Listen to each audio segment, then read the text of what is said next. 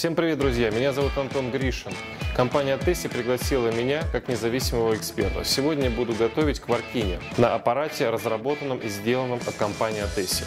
Аппарат полностью состоит из пищевой нержавеющей стали, имеет две модификации. Это 16-литровую ванну и 23, как в данном случае. Помимо мы имеем два нагревательных элемента, 3,9 кВт каждая. У каждого элемента присутствует кнопка включения и отключения.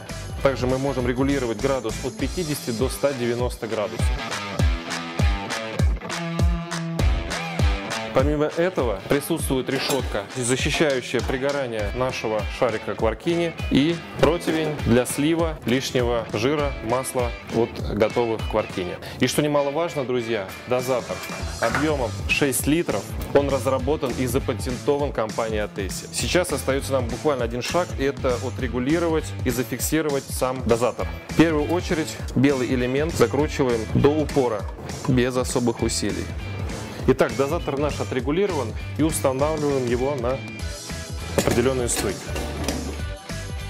Дальше мы заливаем масло до минимального объема.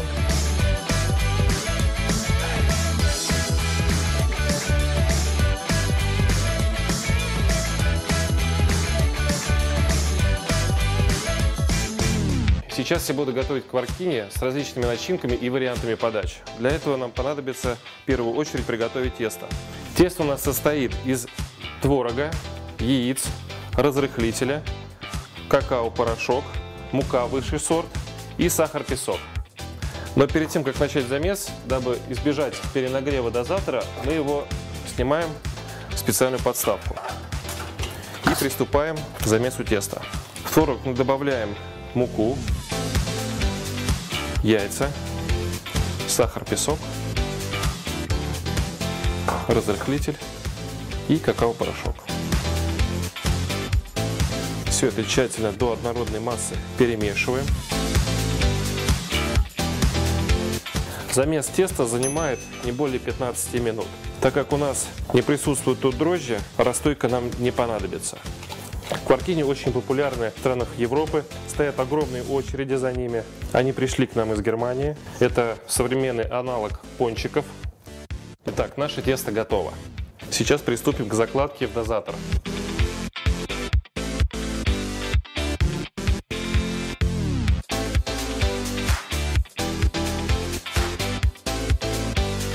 Итак, тесто мы замесили, поместили его в дозатор, который мы ставим на свое рабочее место, где мы будем отцеживать наши кваркини. Итак, друзья, процесс приготовления кваркини начинается. Процесс жарки, ребята, настолько прост, что мне их даже не приходится самому переворачивать. Они это делают все сами, поглядите.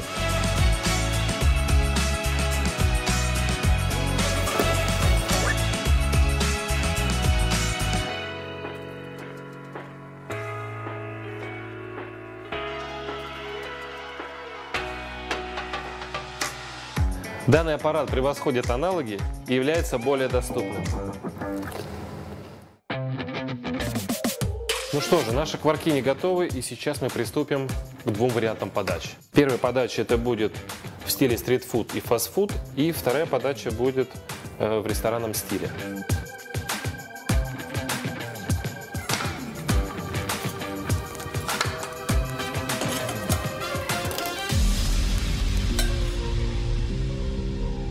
Итак, наши кваркини выложены на тарелку. Поливаем их соусом, состоящим из манго маракуйя и жженого кедрового ореха. Далее мы будем декорировать мятой и посыпать какао. Присыпаем какао, подчеркиваем их основной вкус и добавляем немножко мяты. Итак, наши два варианта подачи готовы. Первый вариант у нас был в стиле стритфуда и фастфуда. И второй вариант это в стиле ресторанной подачи. Вы спросите меня, чем же вкуснее и полезнее кваркини, чем пончики? Я вам отвечу, друзья. Кваркини более воздушные, сочные. Все за счет того, что основной состав кваркини – это творог. Он более диетический, более полезный, нежели его предшественники пончики.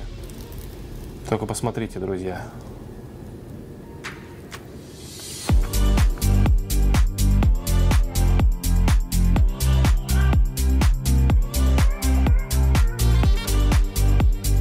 Приступаем к второму варианту приготовления кваркини. Для этого нам понадобится творог, мука, высший сорт, яйца, сахар, песок, разрыхлитель.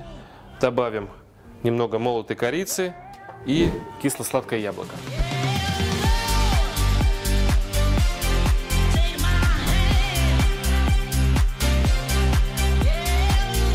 Итак, начинаем резать яблоко.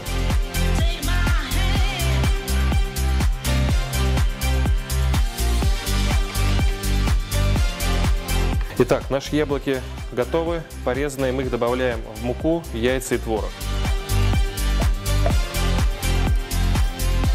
Далее добавляю сахарный песок,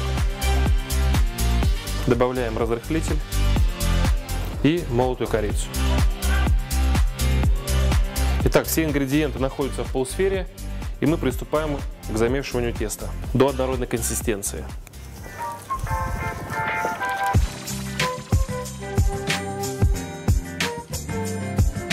Теперь готовое тесто закладываем в дозатор.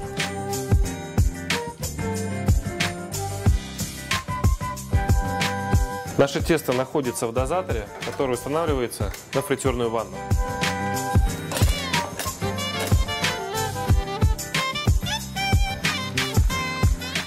Итак, второй вариант кваркини с яблоком и корицей у нас готов.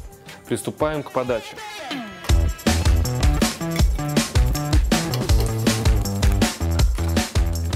Второй вариант кваркини э, яблоко с корицей будем подавать Первое – это в ресторанном стиле, и во втором стиле – это стритфуд и фастфуд. Подаваться он будет со сметаной, со свежей, сладкой золой и свежим бисквитом.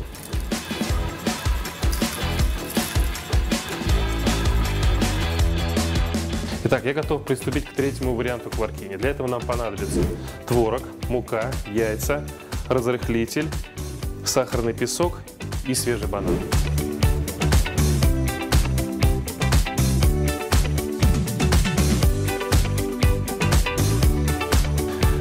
Засыпаем сахар, разрыхлитель и тертый банан. Приступаем к третьему варианту подачи кваркини с бананом. Кваркини с бананом подается соус капучино.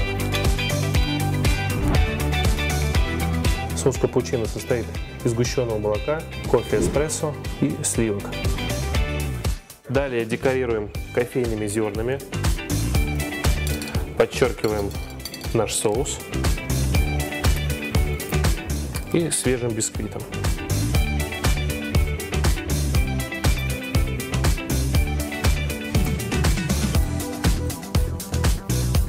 Два варианта подачи кваркини с бананом готовы.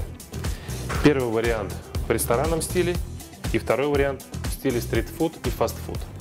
Ну что, господа, подытожим. Кваркини получились сочными, вкусными и воздушными. Данный аппарат повысит доходность вашего бизнеса.